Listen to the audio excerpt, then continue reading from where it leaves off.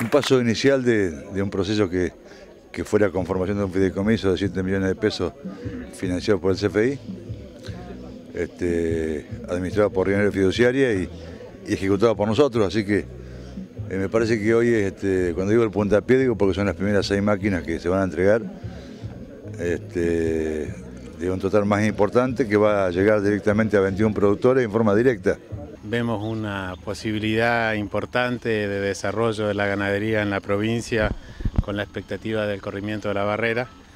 Este, pero bueno, además de las ganas hacen falta equipos y maquinarias para trabajar, así que bueno, estamos muy contentos con, con la posibilidad de adquirir este tractor de una manera digamos, bastante cómoda. ¿no?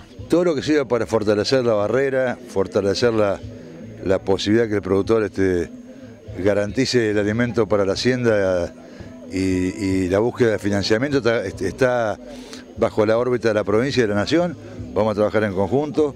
Creo que, justamente con proyectos en la mano serios este, y con el aval del municipio, que es la, primera, digamos, el primer mostrador que, al que el productor acude, vamos a hacer un buen, este, un buen trabajo y seguramente está descartado un muy buen resultado.